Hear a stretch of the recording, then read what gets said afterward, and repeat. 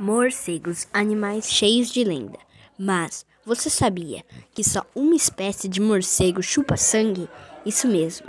Hoje eu vou contar para vocês tudo sobre os morcegos, como eles comem, como eles vivem e como que eles se adaptam à noite, como eles caçam à noite. Entenderam?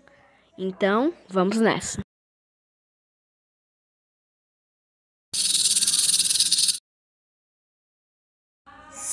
Fala galera, tudo bem? Eu hoje vou contar para vocês tudo sobre os morcegos, animais cercados de lendas. Primeiramente, existem 1015 espécies de morcego, só que apenas uma é come sangue, chupa sangue. E isso é muito preconceituoso com os morcegos, pois a maioria deles come insetos e frutas. Vou falar algumas das espécies mais comuns de morcego. As espécies mais comuns de morcego são o morcego de cauda livre, o morcego vampiro e o morcego marrom. O de cauda livre, ele é um, um mamífero mais rápido do mundo, tá? É a curiosidade. O morcego marrom é um morcego insetívoro, ou seja, ele come insetos. Enquanto o morcego de cauda livre, ele come mais frutas, ele também pode comer insetos, ele é onívoro.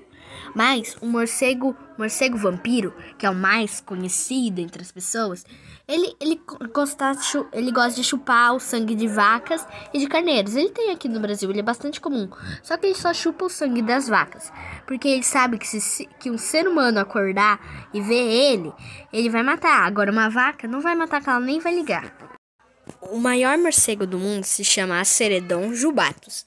Ele vive na Austrália e ele é muito, mas muito grande. Só que ele gosta de comer frutas.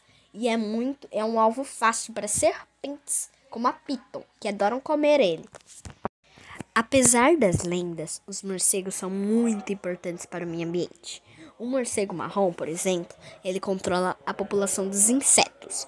O morcego, o morcego de cauda livre, ele também controla a população dos insetos e espalha sementes. Mas também tem um grupo de morcegos que se chama polinizadores.